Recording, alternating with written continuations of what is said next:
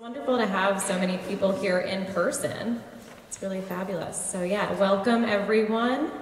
Um, I'm Sarah Vogelman. Um, I'm the Assistant Curator of Fine Art here at the New Jersey State Museum, as well as the curator of this show, which is the 2022 New Jersey Arts Annual Reemergence. Um, and we're really lucky to be joined here today by two artists who are featured in the exhibition, George Taylor and Mashell Black.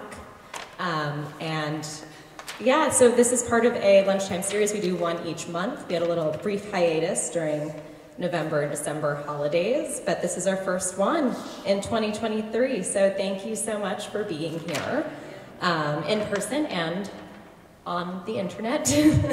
um, uh, so yeah, this is sort of a series of lunchtime talks, which really gives our visitors a unique opportunity to to hear from the artists and hear more about the context of specific works and these artist practices. So, you know, it's really wonderful you're all here.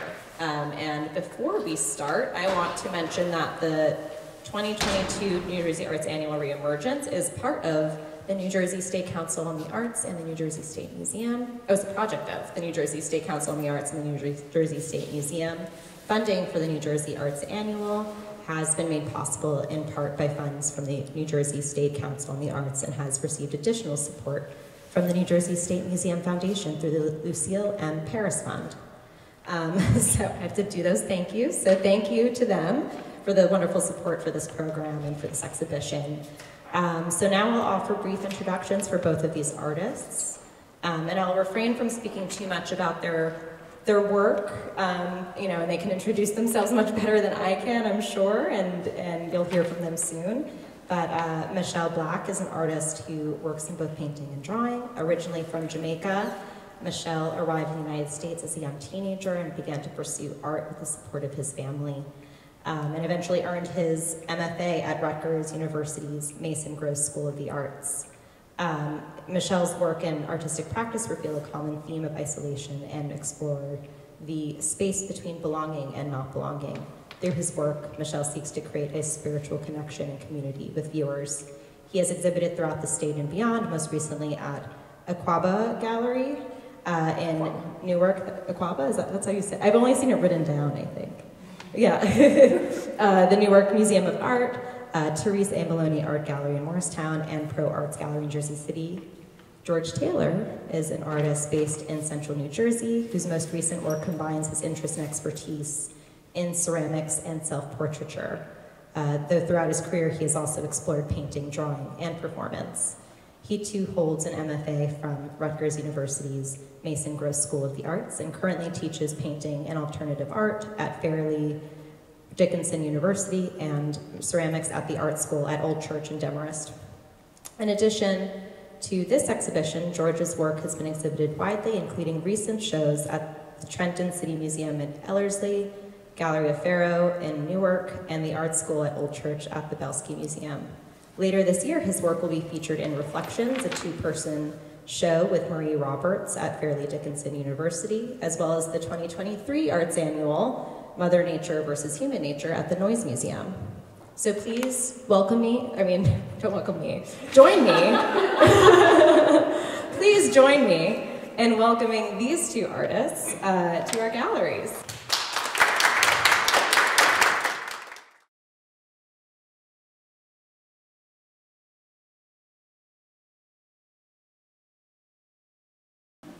show. Thank, thank you, Sarah, for that beautiful introduction. Thank you, everyone, for coming. Uh, this has been awesome. So I haven't seen this painting in, wow, a long time. Actually, it looks like a good painting. no, it looks better after time. But, but um, one of the one of the questions I think Sarah had prompted with is uh, where do you paint or you know, how do you name these paintings? And it was particularly relevant to this painting. I mean, yeah, I think out of the way now. But I saw, uh, I use oil paints and they're sort of toxic. When you're applying it, when you have it in your home, it's perfectly fine after it's dry. but so I paint in the back in my backyard a lot, and so I get my neighbors that pop by every once in a while, and and, and they're all critics. So I get like these popping studio visits slash critiques, and sometimes it's like, oh, I love that, that's amazing, and then other times you'll be like, what's that? You, you mean people pay for that? You know, I'm like, yeah. so uh, this one in particular. I was in the middle of it, and one of my neighbors popped by and said, Oh, that's a beautiful painting. It's a father and a son.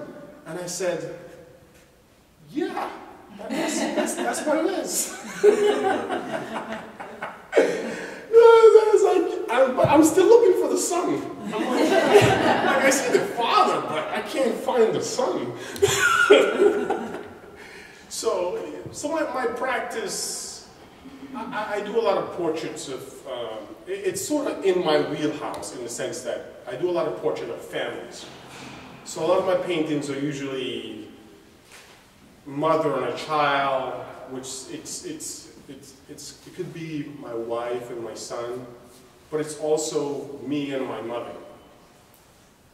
And a lot, a lot of my paintings are about that story.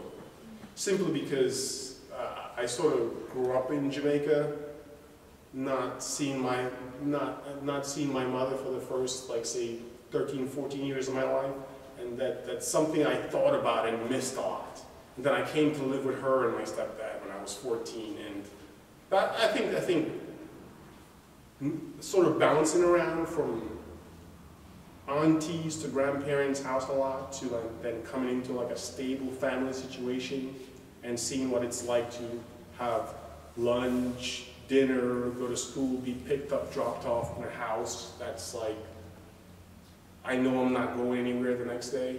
That's a completely different experience. And so that tends to, that, that sort of experience makes its way into my pains. And it also makes its way into my own lifestyle because I think when I got out of grad school, one of the first things I wanted was, I knew that I wanted, I wanted to be married, and I wanted a house, and I wanted a kid, and I wanted to like, I want both of us to go to like PTA meetings. Like that's what I want. yeah. And and but but this painting in particular though, you know, um, even though my neighbor called it husband, father, and son, it's it's it's it's also it's it's a I've been doing these portraits of sort of like say what I thought my ancestors would look like eight, ten generations ago. And that's, that's, it's, that's in a conscious effort to sort of say, I'm trying to, I'm trying to make um, portraits not so much based on what our heroes look like in the past hundred years or what people think someone black should be making portraits of, but I'm trying to make portraits as though I lived a long time ago, and I'm like the sense, like like we, my blackness is like the center of my universe in that time, and I'm just looking at it and talking about it, and so, so these these paintings are sort of like a conscious effort not to always refer refer to whiteness or refer to the dominant culture or refer to like slavery or refer to Martin Luther King, Malcolm X sort of thing. So I sort of skipped that whole sort of like last hundred, hundred years or so in America, and I go back beyond that, where I can imagine me looking directly my ancestors, say, before colonialism, and like talking to them and, and, and making portraits of them without sort of like that, you know, the last couple hundred years of like whatever, you know, sort of what happened. And um, part of, it all sort of works together because I think going back that far also helps me to avoid using photographic references. Because uh, before, before, these, before the last three, four years, I used to paint almost exclusively from photographs. I used to take pictures and draw people and restrict myself to what I saw in that rectangle. And, you know, after after 20 years of drawing models on a pedestal and drawing from photographs, I have enough muscle memory to understand how backgrounds work and how, you know, figure ground relationships, how uh, a light color work against a darker color, and then bringing in fresh marks like these lines and restrictive color palettes and sort of like how, what happens when you fade one thing into like a landscape. So the, the, the, the muscle memory of sort of like this, the, this old sort of traditional European oil painting, it's still there, but I made a, but I made a conscious effort that to, to allow more spontaneity into my work by abandoning photograph and just work, always working from memory nowadays. Because what, what I'm really interested in is, is not necessarily making a picture, but I'm interested in how the paint works. Because, you know, like these little, these little drips are important. This line is important. And this, this right here is a wash versus how thick this paint, paint is. So is, these, is these relationships in paint that sort of fascinates me. And, and yes, I have all these subconscious, psychological, emotional things that eventually seep their way in. But as every artist knows, once you pick up some clay or you get that brush or concrete in your hands, it, it, it also, so, you, you don't sort of think about I don't think, I think artists, we get so involved in our work that sort of get lost in it. And you let all the um, political, social things, they, they sort of become background issues. You're really concerned about, I'm really concerned about, you know, like this slush of, slush of paint that comes down here. And then, and then this one little orange mark in the middle of the painting for absolutely no reason. But and uh, know, it's like, what's the point? Like, why? But I, I think I, I placed it there in like this frenzy, and then I walked back and saw it, and I think I had enough, it's, I sort of had enough discipline to realize that, yes, maybe it sort of doesn't make sense, but you have to leave it because it's, it's part of the moment. It's part of like letting chance happen. It's also realizing that I can't control everything or I shouldn't control everything because the, the, the, minute, I think in a painting, the minute you try to control everything or rehearse it, then it sort of becomes stagnant and predictable. And the last thing I want is for my paintings to be stagnant and predictable. I want them to look sort of intentional, but a little bit silly, whimsical, sort of like they just sort of happen, almost accidental, but, uh, but obviously, I think I, I can't get away from my, you know, as many of you here, I think that there's about six people here with masters in fine arts from Mason Gross so you, you can't get away from your, from the training. It's just there. No matter how, you know, you try, I think as artists, we try to turn ourselves into these five-year-olds sometimes, but you know, we're not going to run across a highway blindfolded. It's not going to happen. we're always conscious of where we are and how, what we're doing inside of our environment. I feel like I'm just going on. no, you should. This is your time. But are you saying that you're not uh, consciously looking at, you know, you're thinking about painting your ancestors, for example, from hundreds of years ago, but you're not consciously looking at maybe other paintings or portraits from that time, although you've seen it. Yeah. But, but you but you're not consciously looking at them to like make to base anything that. No, I'm not. I'm not looking. I'm not looking yeah. at any. I mean, I mean, I, to say that I'd be dishonest because yeah, I look at all the pictures from the African tribes and I look at the mask. Yeah. I even I, I even have about five or six masks around my house that scare the kids. because these ma these masks are like you know they have horns, and, you know, three eyeballs. They look like Picasso. Uh -huh. Well, no. Picasso looked like that. Right. Picasso looks like them. And because we're used to seeing this sort of like, you know, like, you know, halo guy with, you know, pale skin, seeing somebody with horns and like three eyes, like, oh my God. but, so I look at all of that. But when I'm making the painting, I'm not referencing it one to one. I'm not, right. it's not, it's, so uh, what I'm more looking for is um, I'm looking for the ancestors to, to, to, to, to, like, you know, like come down to me and put this, this spiritually, spiritual connection where I'm in the, in, in, in the zone, sort of to say, and they, um, I close my eyes and they tell me what to do. and so, and, and then, so with, when I'm getting this, um, you know, the seance or spiritual revival or whatever, then that's where the sort of like um, artistic training and mastery, that, that, that, that gets translated to, through my knowledge. Right. So, so it's, so it's very, it's very two set, very, one is very, you know, like, um, one is soul spiritual and one is very analytic. Mm-hmm. And, and, and, and this analytic gets translated by, the spiritual gets translated by analytic, and that, that's sort of what comes out. Yeah. I'd like to say I'm totally free when I make these things, but like I said, you can't get away from that knowledge that's embedded. yeah, no, it's your training will kick in, or Yeah, your yeah. the knowl- yeah, you already have knowledge that you've accrued over over study and years of just being that will kick in. Um, it's really wonderful. Do you ever do studies before you paint, or it, it's just it's in the moment that you do not know what you're going to do beforehand? I mean, I have, um, I have, I have, I'd say I've done thousands of drawings. Yeah, I probably have about six, seven hundred drawings at my house, charcoal and pencil drawings.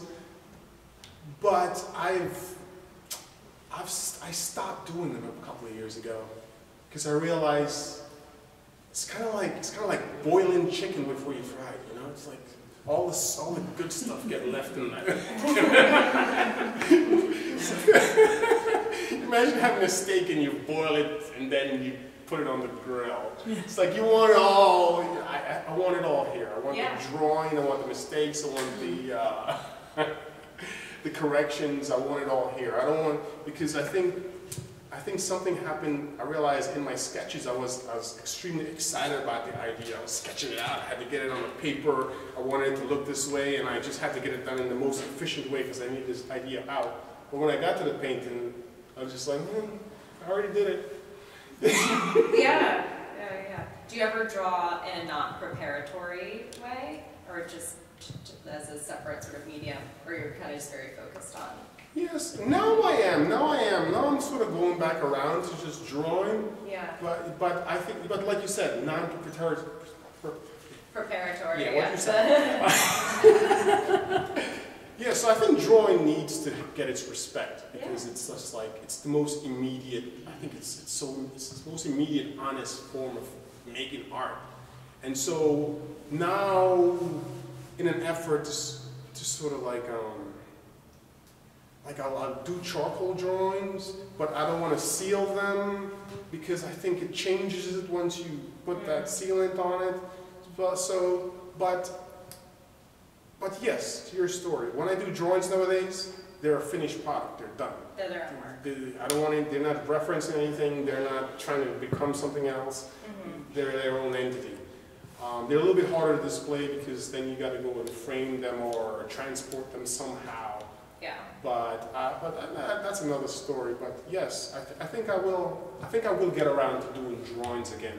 It's just that I had to get away from photographic references and, or doing stuff to become something else. I just wanted that clean cut. And I, I think three years out, I, I can just make individual pieces. Yeah. Wow. Yeah, it, I mean, I, are you, we can open up for questions from, from any of you as well. I can also keep asking questions, but Who's got a question? this is a, you know, this is an informal, you know, talk, this is our chance to talk to the artist, which is really great. Well, I just wanted to say what I see in the painting, and I don't know what you see, but I see this kind of funny image of this dog turning his head with long eyelashes, and he has a backless dress on, and his paw like this with a big hat. Backless dress. Yeah, with, with the straps on the back, and it's quite fun. It's like a dog sort of prancing around. It's a funny Sounds thing. like a very erotic You dog. see this? the dog's face. You see it? Uh-huh, yeah. yeah. What? Yeah, the dog's nose, the dog's nose on the right. I, s- I see the hat with the fruit. I see the hat with the fruit. Yeah. It's quite funny. Yeah, this is, people are, in the galleries are very drawn to, to this work, and I think it has so much to do with the texture of your paint, how you apply it. and I guess I- I'm wondering where that comes from for you. Or are you, because there are areas, if, if, you know, when you have a chance, everyone should go up, yeah, you know, closely. They're a very thick, um, areas for like thick application. Um, or just very textural on the surface, I would say. And you really dig into the surface as well. Uh, I'm gonna say that, um, I just like, just like to get in there and get, I just like lots of substance. Yeah. And, and, and also, I, I say, in my journey to support my art for a long time, I was sort of like a, like a house painter. I had a house painting company, and I'm just used to scraping off lots of gob off people's houses and oil priming it, and it's just a big dirty mess. And plus, you know, I, in a former life, I was a scenic painter, so I used to paint sets for theaters, Oh, wow. and I'm just used to big stuff with lots of materials drooping and dropping. So I, I'm used. I'm just used to this sort of like lots of material. I've never been sort of like this clean, sort of like precious, dainty. guy. Yeah, I did. I think I did architecture for like one semester, and I was like, nope, nope, nope. No, how long does it usually take you to finish a painting? That's a, that's a secret. Okay. We won't reveal the secrets. My whole life. We won't reveal. it's still not finished. Still not finished. It's not finished until it's paid for in somebody's house, then it's finished. I might still change it. but it's interesting in your studio because I remember walking through your studio once, and you have some very big canvases Yes. in there. And, and, and does that come from your background doing sort of set work, sort of with like bigger or? I Yeah, I mean, I'm used to, I'm used to working in, I'm used to working on, in that sort of proportion. Yeah. And obviously, it's, uh, I think every artist just wants to do the biggest, baddest thing they can do. and luckily, uh, you know, I had a studio to do that. And, and plus, I I think with my, um, with my paintings, I like to use my entire body and, and, and, you know, it's like, I need more space. This is, you know, I, I, so I like to be able to walk across the work and not, not necessarily see what I'm doing until I step back, and then I can sort of be surprised. Yeah. Because I, like being an artist, but I also like to be the audience. Mm. So I'm like, I'm the artist, I'm the audience. Yeah. So yeah, um, I, like I said, I, I and I, I have um, I have a 16, a 12 by 16 foot mural in my backyard that I paint on, and then a few months later I erase it and then make another painting. Mm. And o- often I'll use like um, nine inch house painting brush, nine inch or 12 inch rollers to make that. Yeah. So uh, I think I just, I think I just, I, I like that, I like that, I like that size. And you know, sometimes I work on people's houses, and the side of the house is like, you know, 30 feet by 50 feet. So, so I'm just, I'm just used to working in that, in that, in that, in those dimensions. So that's sort of my, where I feel comfortable. Yeah. Yes. What's your uh, process for painting? Like, do you work every day or um, in the morning? Or I'm just curious about your, your activity. Well, um, usually, once I can convince myself to make just like a, to paint for five minutes and I get there, and once I pick up the brush, that usually turns to about five, six hours. But, but, but I, I work in spurts, so now I feel, at the beginning of the year, I was just kind of like, eh. And now, uh, now- I sold a couple paintings, and I'm like, yeah, I'm an artist. So, so now, but I, I will, I, when I do start working, I'll make eight, nine, ten paintings, and then I probably won't work for another month. I'll just take some time to process that. But also, it's just life, you know? It's like, I'll work for, like, it's winter now, so I'll be painting for the next two, three months. But when summer gets around, I'm a little broke. and so I gotta sort of like find some sort of job, and then I make some money, and then I'm like, I'm an artist again. I don't need your job. I'm an artist. but uh, the, the uh, I'd say, I'd say around around four or five o'clock is when I'm inspired. And I try to finish before it gets too dark. And if I'm not finished, I'll put some big lights in the backyard or something. So, um, so I, I try to do. This one was probably done in about a four or five hour stint. And if I usually if I come back the next day and I'm not as excited about it as I was the first day, I'll just scrape it all off and make something else on it. And uh, just like the painting I made yesterday, I was I started I started around three o'clock, and by six seven I thought it was great, and I took a light and I look at it, and I thought, wow, that's your best painting ever. And just before I came down here, I looked at it and I said. Hmm. yeah, I'm gonna, yeah, I'm gonna, I'm gonna resurface that one. so uh, I think, yeah, I can't tell whether my paintings are good or not until like about a week later. Like this one, I thought it was an okay painting, and I came back and I was like, ooh, it's not bad. but I, I can never tell until later. What are you trying to achieve with your paintings? I read in your write-up, you want to make joy, or, you know, you want to live a very joyful, isn't that ha- our happiness, like it's big? Try to achieve with my paintings. Yeah, what are you trying to convey to people? Like, this is, seems joyful I'd like me. to celebrate the human spirit. I, I think uh, with my paintings, um, I'm not necessarily trying to. Is this No? terrible to say? I'm not trying to achieve anything. Oh, I, I, I think I think I think life is such a beautiful thing, and we we these creatures that make all these amazing things, and I just want to throw my hat in the ring. Like, look what else a human being can do. And, and, and obviously, I think there are other there, there are there are other things that come along with that because I am a black man painting black brown. I'm a brown man painting brown images. and so it sort of just it just gets history just wants to catalog everything and so over time someone 40 50 years from now someone will say that, that's what a that's what a black guy was painting in 2020 and they'll and, and he was he, he did this and he was joyous and but but mostly mostly i think i'm, I'm, I'm painting mostly for painting's sake I mean, I, I mean, I love when other artists look at my paintings and sort of understand it. I love, I love these conversations, like these human interactions. Like, you make this thing and it becomes a point of conversation where we also can sort of like gather and have this interaction. And that, that's really the point of it. it. Is, is like, how can we, this, something like this helps us to all to relate to each other. Mm-hmm. I mean, I mean, obviously, 99% of what I make is going to be about blackness and black. And that just happened, our maleness. That just happened, that's just because of who I am.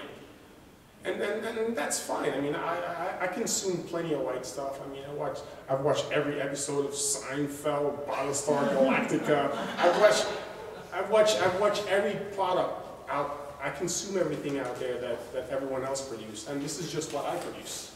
So why not, why shouldn't everyone consume it the same way? I can, like there are there's tons of other art in here, right? And I'll just enjoy it. That's what they that's what they made, and I'll enjoy it. And this is what I make, and you enjoy it. And it's just something another human being made, and we can share it and discuss it. It's just a, just a platform for discussion, a way we can relate to each other. it's nice, Yeah, yeah. I like this idea you brought up, the concept of being an audience of your own work. I really, I really like that. I mean, I think rarely um, it's articulated, um, but like the whole concept of creating. I know with me, I have intention when I create, but then I still like let it go and do what it needs to do. So then when I see it, I'm like, oh, like you said, like, oh, this is interesting. Um, so I, I like this theme that you brought up, how we're like an audience, we're an audience for our own kind of soul consciousness, you know? So I don't know if that's our ego standing um, outside of our consciousness, but we're like, oh, this is what our con, this is what our consciousness did. really Thank you, fascinating. Noah. Oh, sure. Yeah. But I like that. I'll be thinking about that for a while. Look what I did while I was sleeping.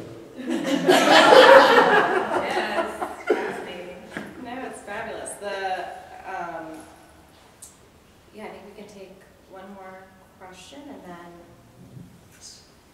Uh, my, my question or comment has some adjacency to hers, okay. and, and that was, I was listening carefully about what you were saying about you know, being, being the maker and being outside of your inner dialogue and all that just for the process of making, and I totally relate to that. And then what was interesting was how you were talking about stepping away and uh, creating separation so that you became audience for a moment. And that's also extremely interesting to me because I often, first of all, approach the studio with the thought, I don't know if I know how to make a painting today. And, and that can be a really big stall, you know, emotionally. And you just have to get over it, you know, and, and just throw it down the canvas and just see what the heck happens. Uh, and, and let it lead. Um, but, but what I've noticed, at least in my practice, and so I'm asking you, is who be, what becomes or who becomes uh, the biggest antagonist in your studio. Like for me, sometimes I'm feeling and I don't know what to do, you know, except put it away for a while and see if it can become a friend. You know, or, or is it you sometimes, like I feel if I show up thinking I don't make a painting away, I'm my own antagonist in the studio. Wonder what, what kind of, uh, what's your hurdle in the studio to over, overcome dynamics between you and your work? Okay, I think I got the question. Who's the bad guy in my studio? Or the bad person, or the, the, the who's the antagonist in my studio? Well, th- there's a few things, and it's it's it's hard to get past. For, the first one is whenever I make a good painting or a really good painting, that's tough because you got to beat it, and, it, and then you try to make some sort of like cheap version of it, and it's hard.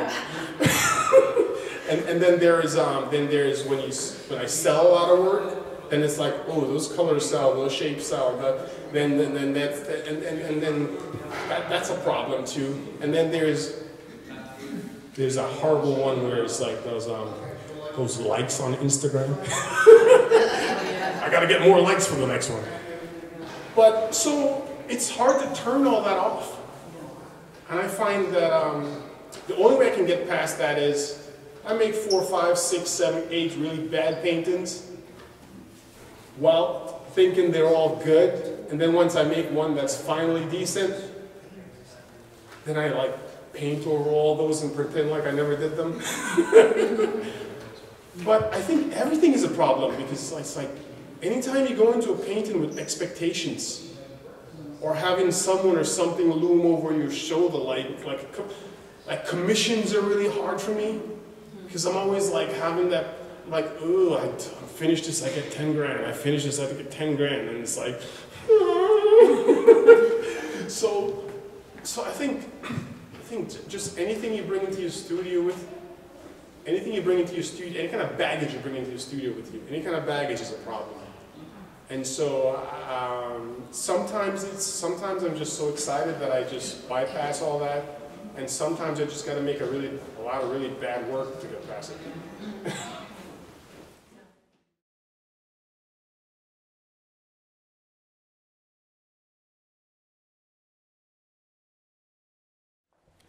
So thanks everybody for being here.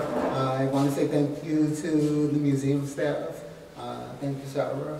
Um, thanks to Abby, uh, my wife, um, who always gets me where I have to be. And um, these are some of my bottles. Where did these bottles come from? Well, probably 15, 20 years ago, I started making bottles out of slabs. Um, I was looking a lot at Japanese pottery, and um, Shoji Hamada has these great rectangular bottles that are not made this way. But I decided, let me, you know, see what I can do with a of clay. And I was essentially making them for liquor, for sake, um, things that would be useful. Um, and uh, eventually, I started making some small ones uh, that were more like for um, perfume or cologne or essential oils, rituals. Um, and I took a bunch of those with us when we went to Japan and South Korea uh, to give away and to trade with people, like in the ceramic village. Um, so that was kind of neat. And um, anyway, um, come back from South Korea and Japan. I'm doing a lot of painting. At the time, um, I was working as a counselor, counseling mostly people who have uh, psychiatric disorders and substance abuse disorders. Um, so there wasn't a whole lot of time, uh, to play in the studio. Um, so I did a lot of painting uh, and some ceramics. Uh, I made some bottles, I made some uh, masks, which I've always done, and did some stuff on the potter's wheel. Eventually, uh, the paintings that I was doing started to be more about myself and my friends and relatives, and um, I started to close in uh, on that as subject matter. Um, and then suddenly, I was forced to close in on that as subject matter because, you know, the pandemic hit. Um, so when the pandemic hit, being my own model was really just the right thing. Um, so um, anyway, these bottles come out of that. I, I started by painting at the beginning of the pandemic, and then I started working some of those images onto slabs of clay, um, just because I like to work in the clay and like to draw on the clay. And eventually my brain said, well, let's try to throw it on a bottle. So I threw my image onto a bottle and then another one, another one, and I guess I'm a little obsessive uh, and got a lot of my images on bottles. But in between, I also made images of other people and other things. Um, I guess I really started with a lot of flowers and animals. Um, this one up front uh, is one of the earlier ones. Um, it is a tribute to my cousin Patricia Page and my other cousin Amasi. It's called Two Poets, and uh, they were both poets and they died. Um, and uh, yeah, so I, I, I made these two bottles to go as a set, um, as a tribute to them. The one to the left came a bit later. It's actually a self-portrait of me as a little kid. Um, it comes from a photograph that is about 50, 55 years old. I want to say 40, but that would be a lie. Um, but yes, about 55 years old when I was in elementary school. And you can even see the little OLS on the bottom of the tie, because um, I went to a Catholic school, uh, Our Lady of Sorrows. Um, in the first paint, in the uh, first bottles, you could see that I started using um, stains for coloration, but in the second bottle, I only used the uh, color itself, color from the clay itself because I was, you know, mixing clay bodies. I had all that excess clay sitting around the studio. So um, I thought that it looked very skin-like, um, so I just drew a, a, little figure of myself on it. Later on, I went back to using more of the pigments, um, mason stains mostly, and painted this third bottle. And I'm saying painted, it's, really very little light painting.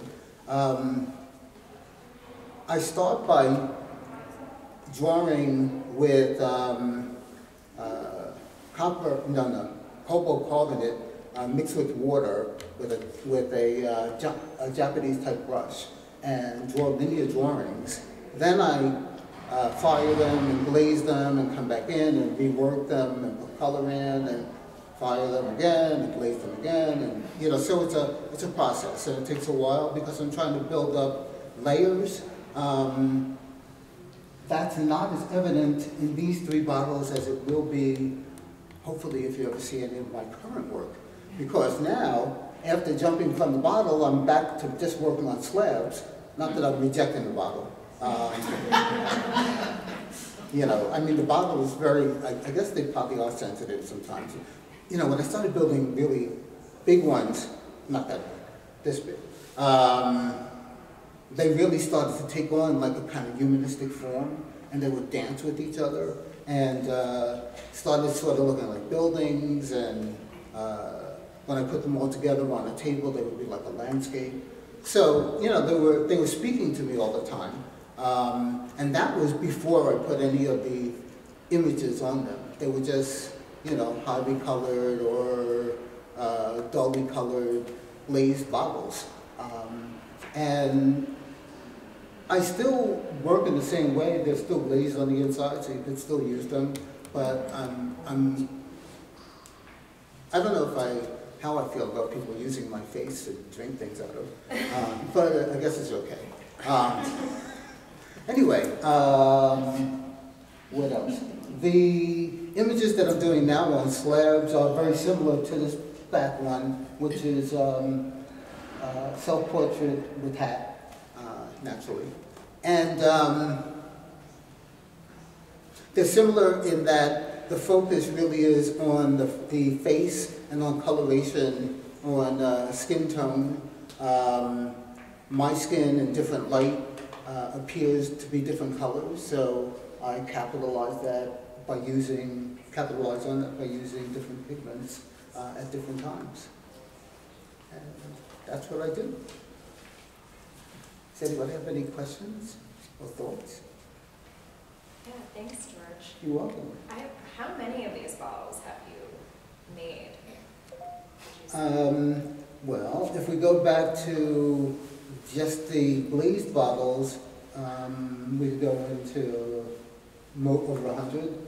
Um, these bottles with pictures on them, it's approaching a hundred. oh, wow. Yeah.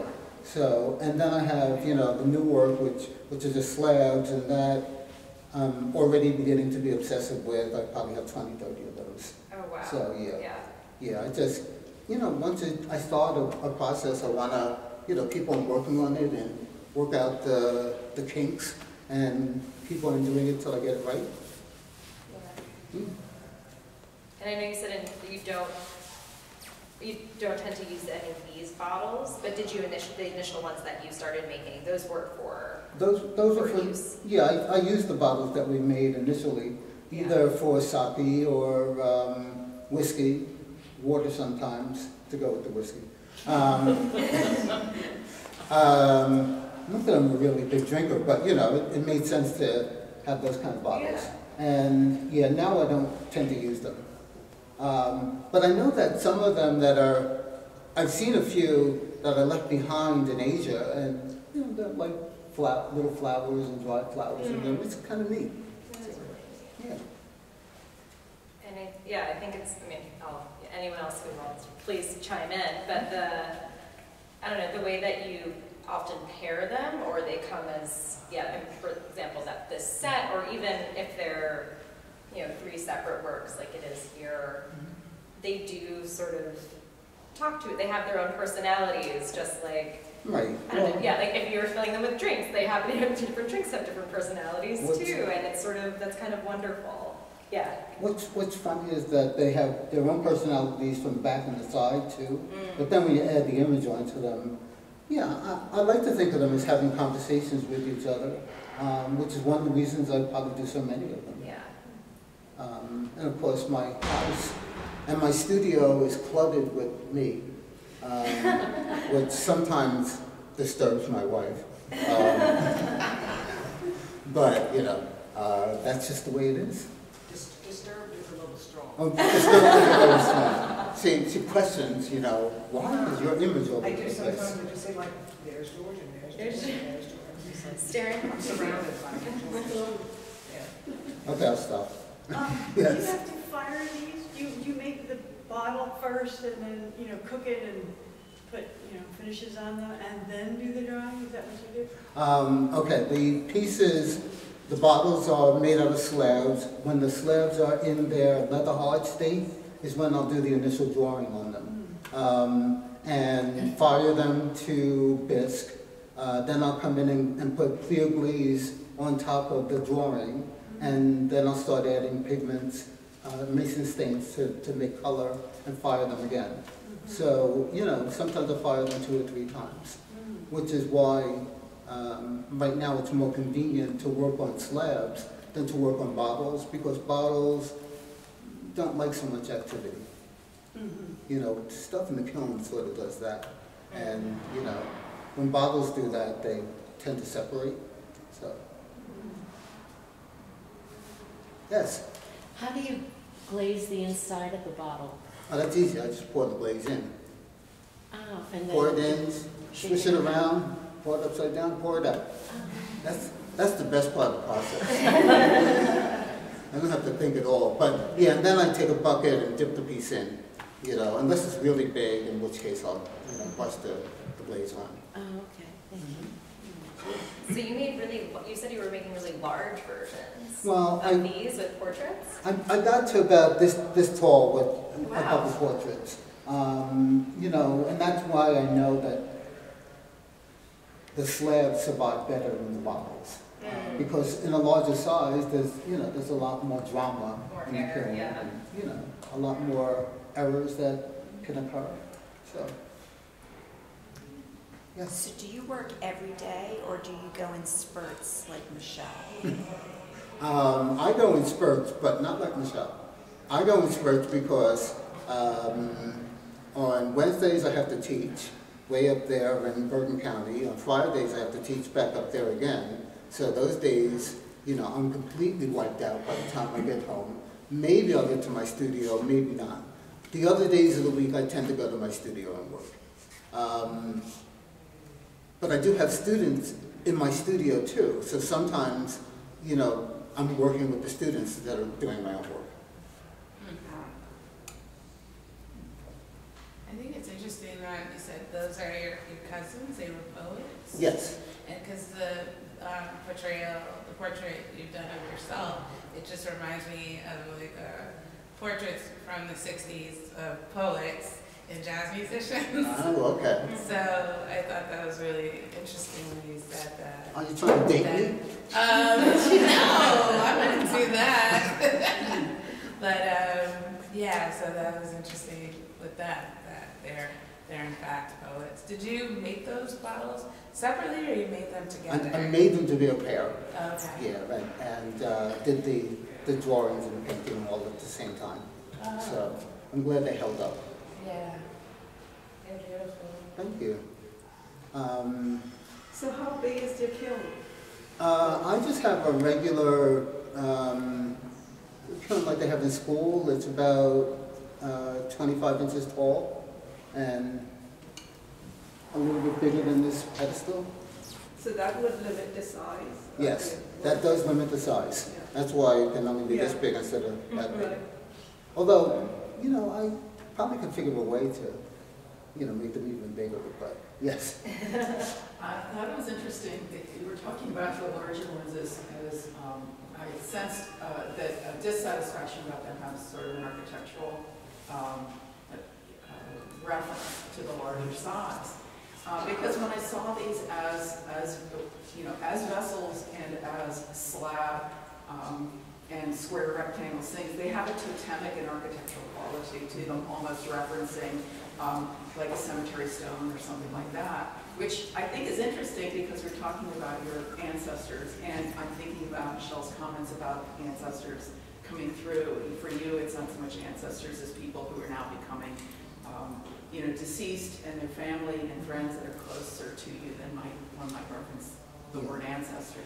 But I, I, I was thinking about that, um, that sense of to- totemic structure, thinking about the Roberto Lugo uh, show that's on right now, thinking about Takaezu, uh, uh, Toshiko Takaezu's work, which was totemic, you know, and vessel-like, and yet transcended the vesselness, you know, and I think that's arguably what's happening here. It's transcending a vesselness because it's a square, you know? Well, it's, it's funny because I, um, I did have the opportunity to study a little bit with Toshiko before she died, you know, just, just a workshop. Um, and, and Lugo I haven't met yet, but you know, maybe that'll come up. I've seen the show, of course, and seen him in all the magazines every. Um, so, um, yeah, totems, totemic. Um, they feel like cityscapes to me, like, like, um, um, if you were to, if you were able to take the graffiti on the side of buildings and make it large enough so that it encompassed the whole building and make it important or, or visually um, uh, realistic or, or relevant enough so that people would want to look at it, then that's what it feels like to me. Right, I can see that. Yes. That's- Just to piggyback on you saying cityscape, because that's, that's sort of like what I see when I look at that, at- at the assemblage of this piece. It looks, it looks, they they look like murals on the side of buildings. Yeah, Yeah. yeah. And uh, so, so if, if I didn't actually, if I wasn't here in person and didn't see the scale of it, you could easily convince me that that's a skyscraper. And so you have a hundred of these things, right? A hundred of the- these bottles, right? Um, Are you starting to like, sort of like collage them together and make other things out of them, like cityscapes or like, uh, I don't know. No, I'm finished with that. Uh, yes, my, my studio does look like that. I have a cityscape over here, then I have a, a, another cityscape with all of the imagery on them, and up there on the top shelf, I have a bunch of other buildings, and, yeah, so, I mean, I sometimes think of them as bottles, sometimes think of them as buildings, but they're all over the place. Um, and I'm cutting back, uh, not on making them, I- I'm, you know, gonna make more of them, but I'm cutting back on displaying them, you know, in my studio because I'm just shoving them as far back on the shelf as I can get them, so I have space to make new ones. Yes? So I'm, I love the idea of combining drawing and sculpture. Something that's always been for me. Like I love to draw, and I'm curious where you're going, or where you from this point on with the drawing. Like how important is drawing to you on them, how are they integrated? How is the drawing integrated into the sculpture?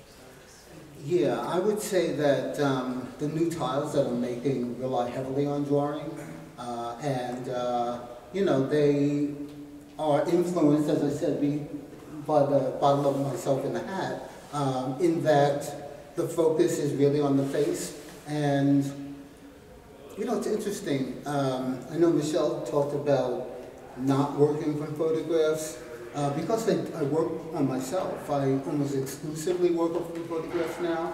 I used to work in front of a mirror, but it's hard to do this. so, um, you know, I take photographs in, in different poses, but it's like, it's like the camera is my audience. So we go back to that whole concept of, you know, who's the audience and who's the primary audience. And I know that, you know, if I don't satisfy myself, then I'm not going to satisfy anybody else either, or I assume so. Um, and I don't want to, you know. Um, I'm the artist while I'm making it, but I'm the viewer, I'm the observer as soon as I stop making it. I think we can take one more question. Yes. Oh, I was just gonna make a comment. The two pieces in the front Uh-huh. remind me of um, Adobe's Yeah, thank you. Thank you. I, you know what? Initially, when I started working with slabs, I was building buildings and building little huts, and you know, I was teaching uh, at Raritan Valley and had a whole bunch of, of uh, students make huts out of slabs of clay and um, castles out of slabs of clay. So yeah, I I, I like that um, uh, melting quality that, that the material has. Yeah, and even the color. Yes, yeah, exactly. Beautiful. Thank you. Wonderful. Yeah, thank you so, so much.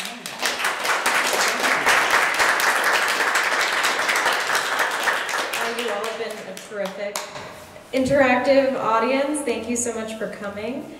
Thank you, George. Thank you, Mashell. Um, yeah, it's been a real privilege to have you here in our galleries and talk about your, your work, so thank you. Um, our next talk is February 22nd, same time, same place, so we hope to, to see you there if you're able to make it. Thank you. Thank you.